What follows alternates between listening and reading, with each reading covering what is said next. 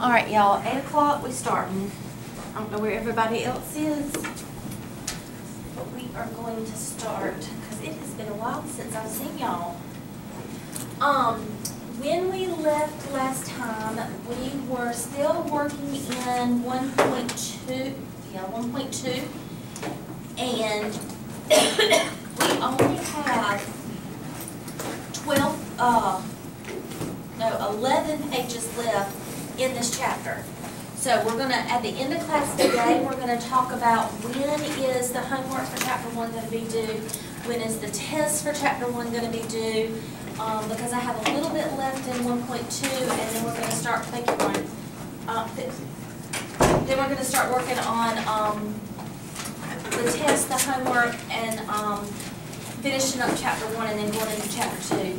Uh, when we left last time, we had talked about, uh, quantitative and qualitative. And we said the N for quantitative was the numbers, the L for qualitative was the letters, okay? And then we had started talking about, at the very end of class, we had started talking about discrete and continuous. And some of us got it, some of us didn't get it.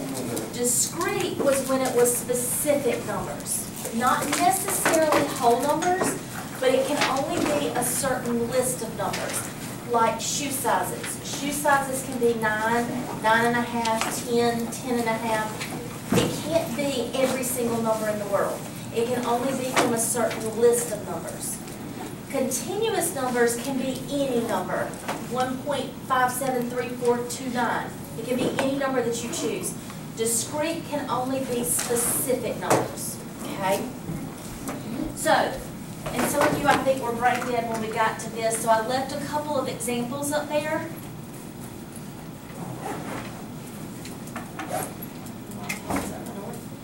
And we had done a couple of examples, and I said, don't freak out on me, we're gonna do a couple more.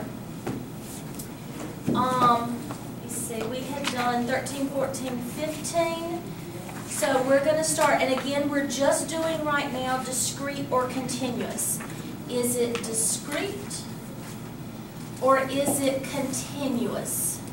So can it be any number or can it be a specific number? So the clerk of U.S. House of Representatives records the number of representatives. So how many representatives there are? Can that be any number in the world or can that only be a certain number? So there can be 24 representatives or there can be 56 representatives. So it has to be a whole number because we're talking about people. So that one's going to be discrete. The number of Corvettes manufactured. Discrete. You can't manufacture 2.36 Corvettes. Nobody's going to buy that. It's either going to be two Corvettes or it's going to be three Corvettes. So that's going to be discrete. All right, I'm going to let you try 18 through 20. Discrete or continuous?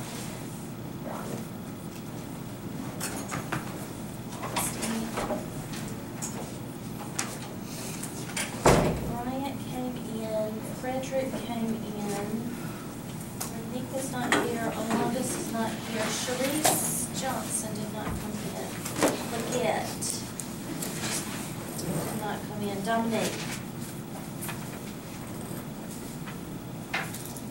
Pratt did not come in. Lauren is here. So discrete or continuous?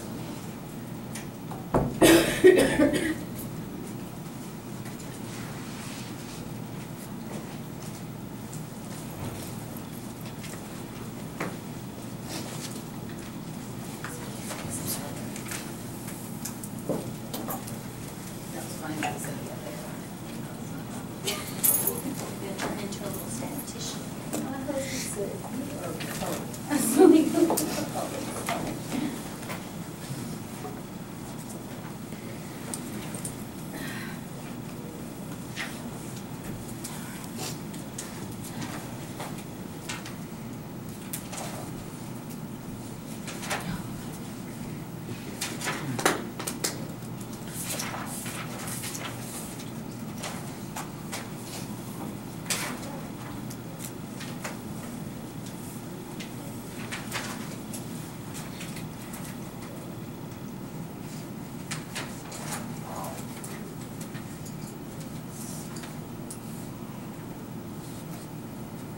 Or continuous?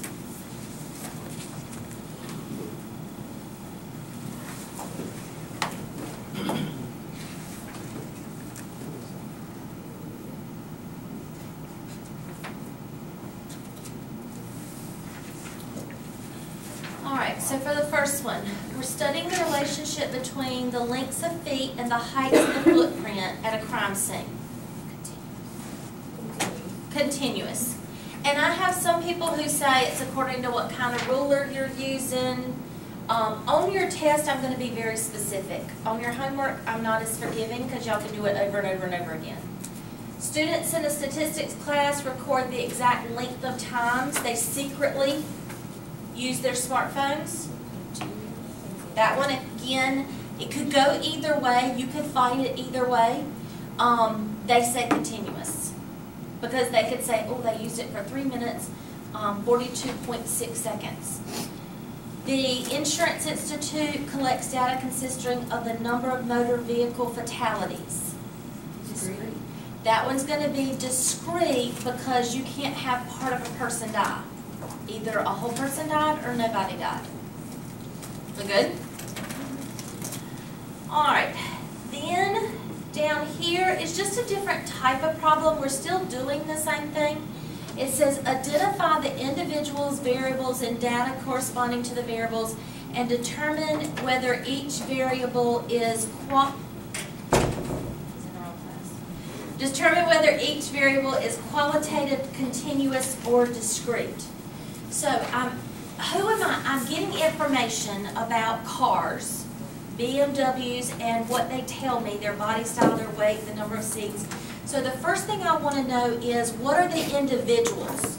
Who am I asking? Who am I getting my information from? The model of the cars. The cars. I'm getting my information from the cars, so this is my individuals. Those are my individuals, those are the people I'm asking. John, Bill, Sue, whatever. I'm asking the three series, the five series, the six series, the seven series. Those are the people I'm asking. Now, what do I want to, get a different color. The variables is what do I want to know from those cars, from those people? What do I want to know from those people? What am I asking those cars? Am I asking about their engines? I'm asking about their body style, their weight, the number of seats. So all of these are going to be their variables. And then what they tell me, pen doesn't want to change. What they tell me, their answers are their data. So, these are my people. These are the questions I asked them, and then these are their answers. So that's what they wanted to know first. Now they want to know, are those answers qualitative, which means do they have letters? Or are they quantitative, which means they have numbers? And if they have numbers, are they any number? Or are they specific numbers? Okay, so for this, for this set, is it qualitative or quantitative? Qualitative. It's qualitative because it's letters. Qualitative or quantitative? Quantitative. Now, is it continuous or is it discrete? Continuous weight. Weight can be anything. Even though those happen to be whole numbers, they could be anything because it's weight. Here, quantitative or qualitative? Quantitative because it's numbers. Is it discrete or continuous? Discrete. Why is it discrete? Bodies don't come in halves. Bodies don't come in halves. You either have a two-seater car or three-seater car. You can't have a two point two nine seater car. Okay? So, this one is going to be, this is gonna be qualitative because it has letters. This, these are gonna be quantitative because they have numbers. This one is going to be continuous because it can be any number. And this one's gonna be discrete because you can only have two seats, three seats, four seats, five seats. Making sense? Alright, now, I'm gonna put, we're gonna add another level. I'm gonna, yeah.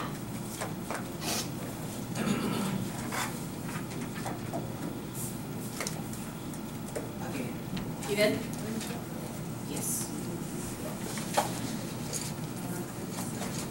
Alright, this is where I feel like I may lose you, okay? This is what we've done so far.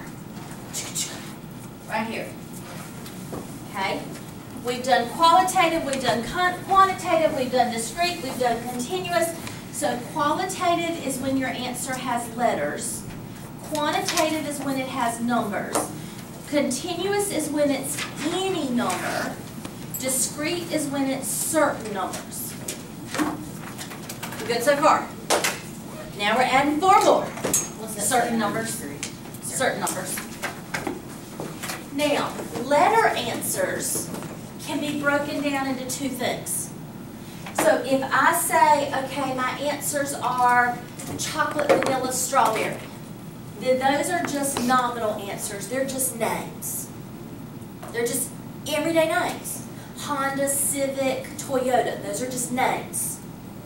Or they're ordinal. They can be put in a specific order. Small, medium, large. Compact, mid-size, SUV.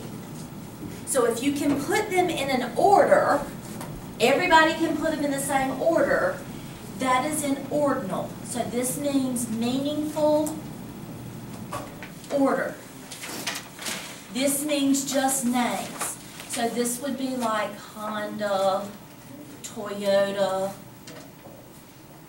um, Nissan.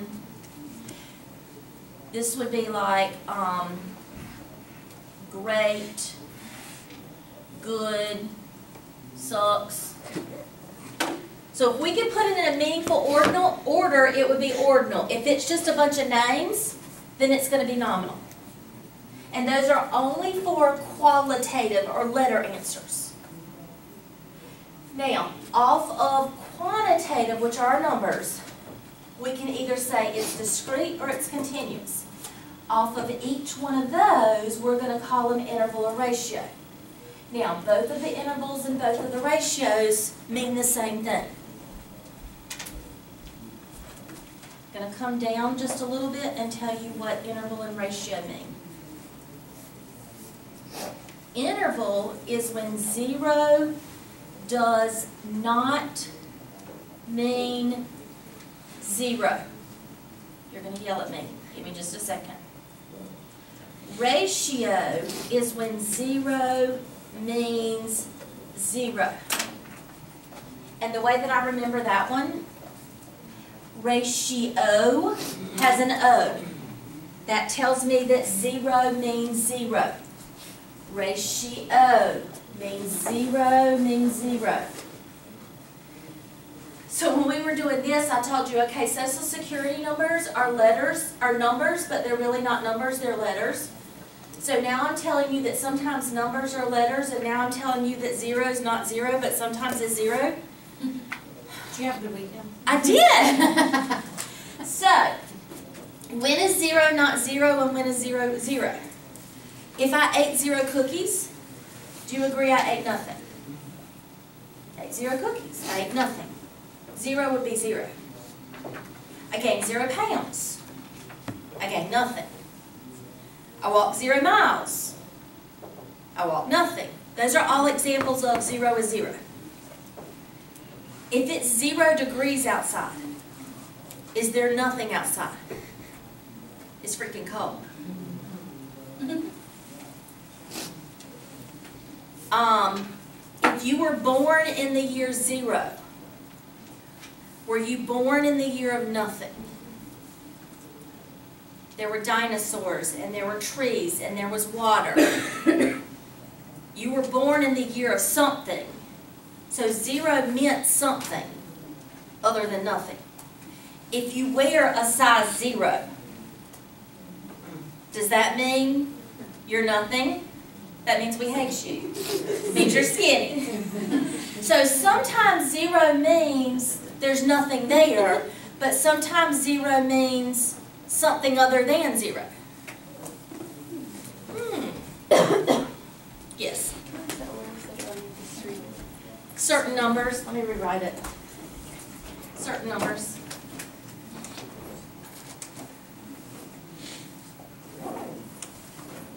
So, this would be if you ate zero cookies, or if you gained zero pounds, or if you walked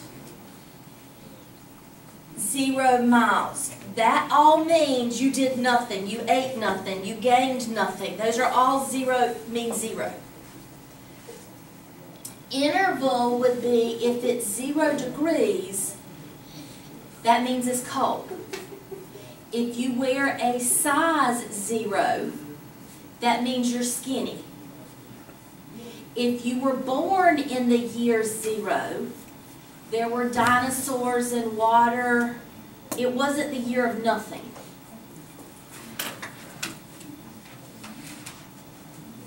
So when you're doing interval and your ratio, you have to say, what does zero mean? If zero means zero, then it's ratio. If zero means something else, then it's interval. Okay? So what we're going to do for these next few problems is we're going to start at the front and we're going to work our way. So we're going to say, a lot of y'all pray, oh, let it be qualitative, because I just have one choice, nominal or ordinal.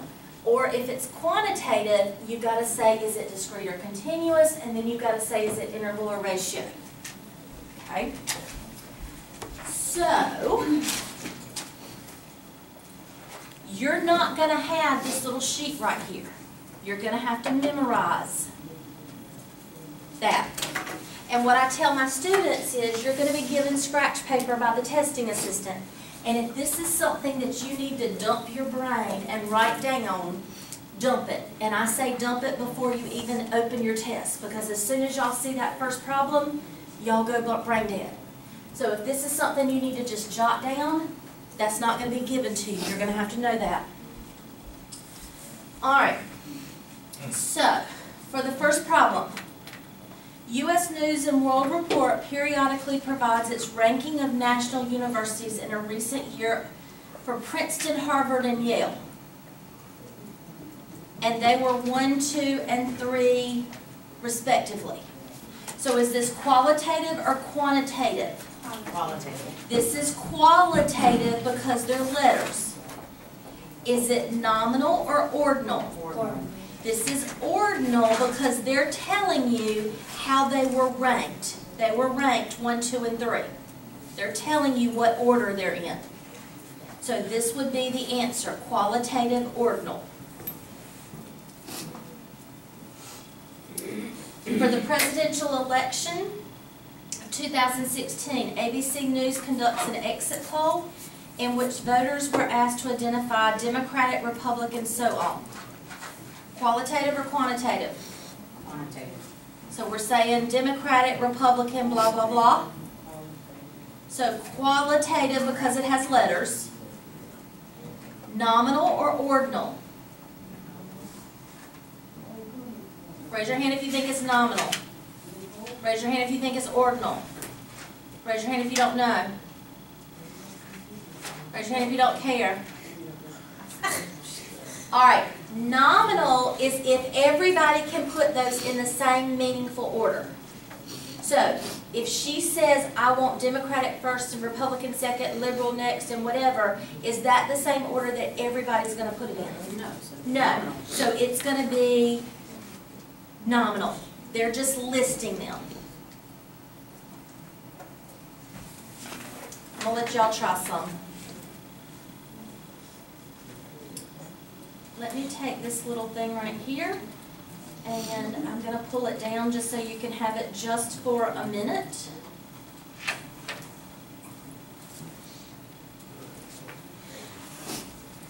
Well, maybe I can get it in there. I'll put it up here and then I'll move it down. You're gonna give me all the way across. We'll do twenty-three and twenty-four, and then I'll move it down.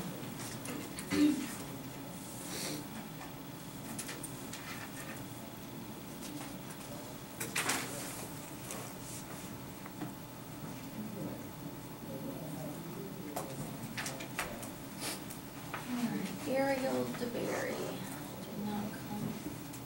Ariel DeBerry did come in, my bad. Alonda's did not come in. Renika is here. Sharice Johnson. No. Leggett. No. Leggett, Leggett, Leggett, my bad. So here, looking in the back. Is there a sign sheet? McKnight, yeah, I'll send her around in a second. McKnight is not here. Pratt is here. Linda Scott is not here.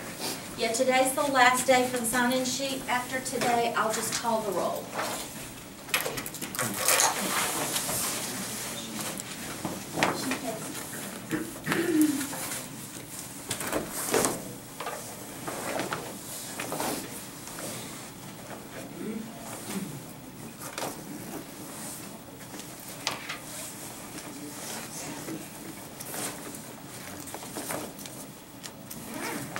John, what do you think about twenty-three? Qualitative, Okay, he says Qualitative. because they're letters, nominal or ordinal. ordinal. Does it say about a weights?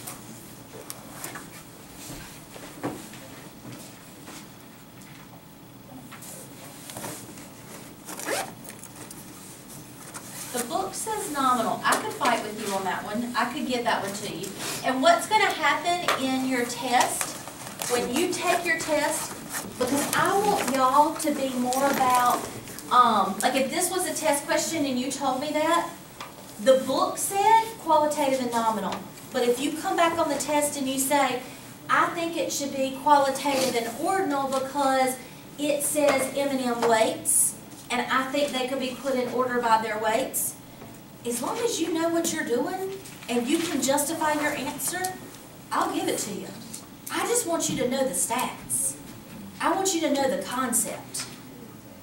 I would give it to you. The book says qualitative nominal. I totally see where you're getting the ordinal from because you're putting it in order by the weights. They say nominal because they're just colors. Um, Brian, what do you say about twenty-four? All right, let's do it, why don't you do it together? Um, fast food service times, a research records the time intervals beginning from the time they place their orders until they receive the order. So if you drive up to McDonald's, they start a clock from the time you pull up to the time you get your food. Quantitative, is it discrete or continuous? Okay, nominal or ordinal? What does zero mean? What do you get nominal order? I mean, interval or ratio, I don't know why I said nominal or, interval or ratio. You gotta keep me on toes, boo. Um, Discrete, right? no, uh, it's continuous with, So it was quantitative and it was continuous. Now we're asking, is it interval or is it ratio? And to ask yourself that, you have to say, what does zero mean? It's going to be, zero means zero. So what is it gonna be? Research. There you go. So, if I, hold on, let me move these down.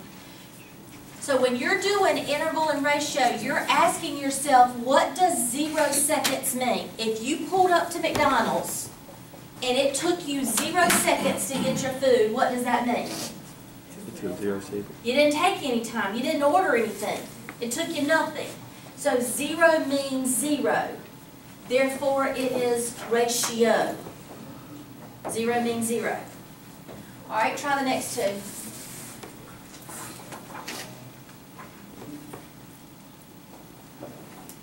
Towards the years in which they won the World Series.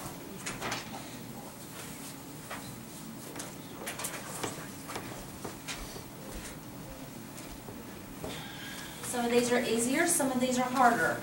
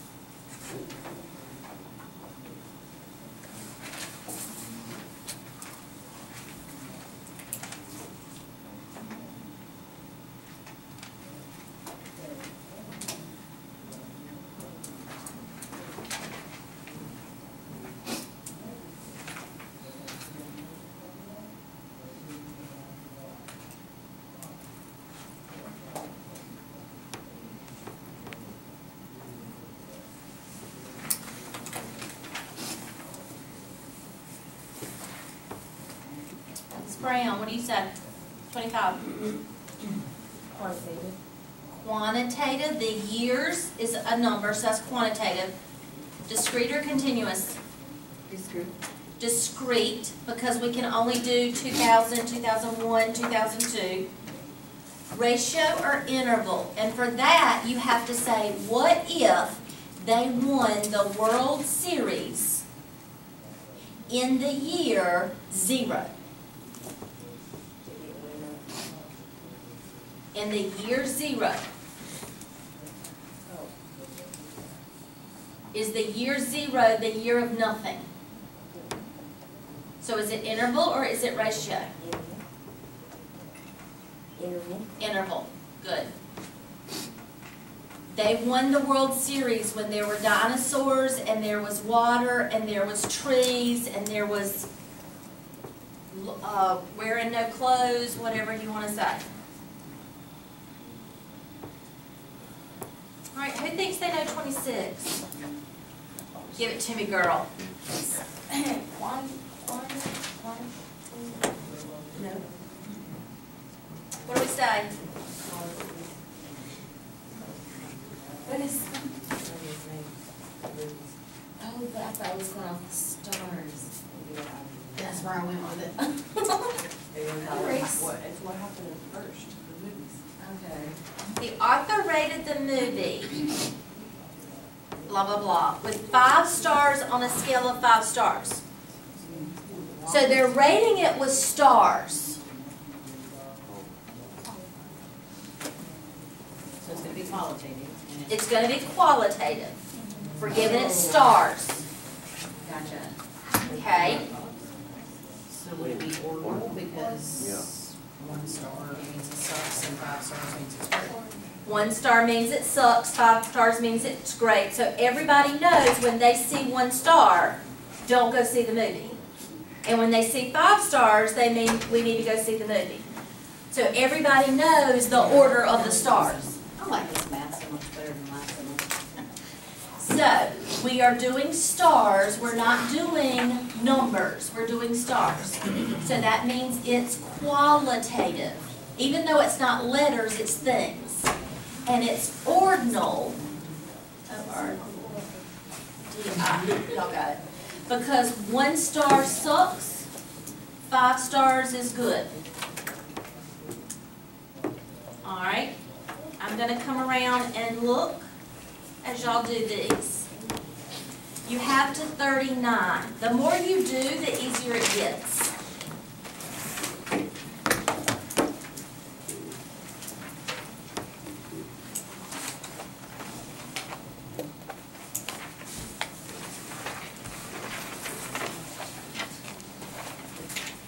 Spit will be okay.